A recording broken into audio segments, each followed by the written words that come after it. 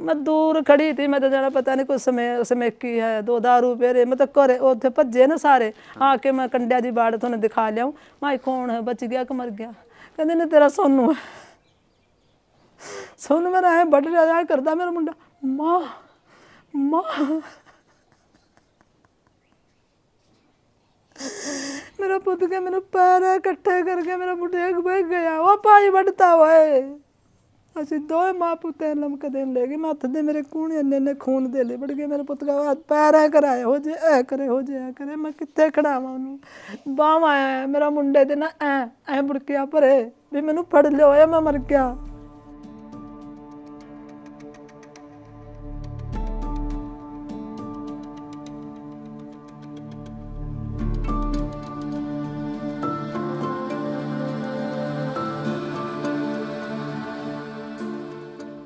ਪੰਜਾਬ ਦੇ ਸੰਗਰੂਰ ਜ਼ਿਲ੍ਹੇ ਦੇ ਕਸਬੇ ਸੁਨਾਮ ਦਾ ਇਹ ਰੌਂਗਟੇ ਖੜੇ ਕਰਨ ਵਾਲਾ ਵੀਡੀਓ ਐਤਵਾਰ ਸ਼ਾਮ ਨੂੰ ਵਾਇਰਲ ਹੋਇਆ।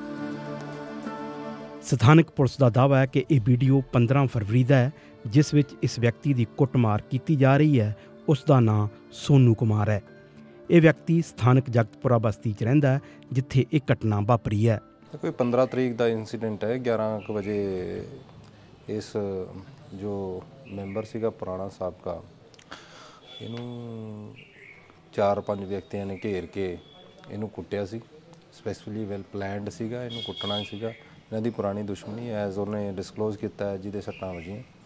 ਤੇ ਉਹਦੇ ਤੁਰੰਤ ਐਕਸ਼ਨ ਲੈਂਦੇ ਹੋਏ ਸੇਮ ਡੇ ਅਸੀਂ ਐਫ ਆਈ ਆਰ ਦਰਜ ਕਰਤੀ ਸੀ। ਉਸ ਤੋਂ ਬਾਅਦ ਅਸੀਂ ਇਹਨਾਂ ਦੇ ਦਬਸ਼ ਦਿੱਤੀ ਹੈ, ਛਾਪੇਮਾਰੀ ਕੀਤੀ ਹੈ ਜਿਹ 'ਚੋਂ ਇੱਕ ਦੋਸ਼ੀ ਸ- ਅਸੀਂ ਫੜ ਲਿਆ ਸੀਗਾ।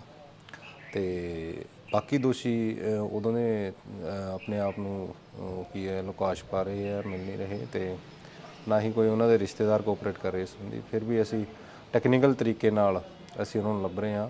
ਜਲਦੀ ਉਹਨਾਂ ਦੀ ਗ੍ਰਿਫਤਾਰੀ ਕੀਤੀ ਜਾਊ। ਸੋਨੂ ਦੀ ਮਾਤਾ ਦਾ ਦਾਅਵਾ ਹੈ ਕਿ ਹਮਲਾ ਕਰਨ ਵਾਲੇ ਵਿਅਕਤੀ ਨਸ਼ੇ ਦਾ ਕੰਮ ਕਰਦੇ ਹਨ ਅਤੇ ਉਹਨਾਂ ਨੂੰ ਸ਼ੱਕ ਸੀ ਕਿ ਸੋਨੂ ਨੇ ਉਹਨਾਂ ਦੀ ਮੁਖਬਰੀ ਕੀਤੀ ਹੈ। ਇਹ ਸਾਡੇ ਤੇ ਸ਼ੱਕ ਕਰਦੇ ਸੀ। ਅੱਛਾ। ਹਾਂ ਕੀ ਸ਼ੱਕ ਵੀ- ਕਰਦੇ ਸੀ?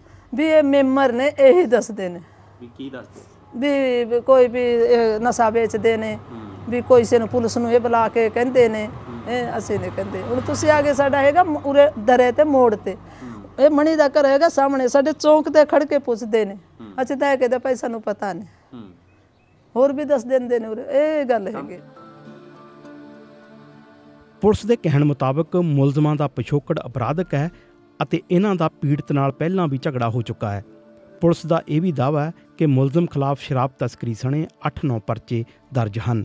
ਪੁਲਿਸ ਨੇ ਇਸ ਮਾਮਲੇ 'ਚ ਇਰਾਦਾ ਕਤਲ ਦਾ ਮਾਮਲਾ ਦਰਜ ਕੀਤਾ ਹੈ ਅਤੇ ਇੱਕ ਵਿਅਕਤੀ ਨੂੰ ਗ੍ਰਿਫਤਾਰ ਕੀਤਾ ਜਾ ਚੁੱਕਾ ਹੈ। ਪਰ ਪੁਲਿਸ ਦਾ ਮੰਨਣਾ ਹੈ ਕਿ ਹਮਲੇ ਦਾ ਅਸਲੀ ਮਕਸਦ ਮੁਲਜ਼ਮਾਂ ਦੀ ਗ੍ਰਿਫਤਾਰੀ ਤੋਂ ਬਾਅਦ ਹੀ ਪਤਾ ਲੱਗੇਗਾ।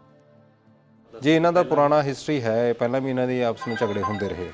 ਇਹਦਾ ਜਦੋਂ ਦੋਸ਼ੀ ਪਕੜਿਆ ਜਾਏਗਾ, ਉਹਦੀ ਜਿਹੜੀ ਸਟੇਟਮੈਂਟ ਆਊਗੀ ਜਾਂ ਜੋ ਉਹਦਾ ਇੰਟਰੋਗੇਸ਼ਨ ਰਿਪੋਰਟ ਆਊਗੀ, ਉਹ ਤੋਂ ਕਲੀਅਰ ਹੋਊਗਾ ਵੀ ਇਹਨੇ ਕਿਉਂ ਕੁੱਟਿਆ। ਅਜੇ ਕੁਝ ਨਹੀਂ ਕਿਹਾ ਜਾ ਸਕਦਾ, ਕਿਸੇ ਗੈਂਗਸਟਰ ਨਾਲ ਲਿੰਕ ਹੈ, ਪਰ ਮੇਰੇ ਮੁਤਾਬਕ ਅਜੇ ਤੱਕ ਕੋਈ ਛੋਟਾ ਮੋਟਾ ਬਦਮਾਸ਼ ਕਿਸਮ ਦਾ ਇਨਸਾਨ ਹੈ, ਜੋ ਸ਼ਰਾਬ ਦੀ ਸਮਗਲਿੰਗ ਵਗੈਰਾ ਕਰਦਾ।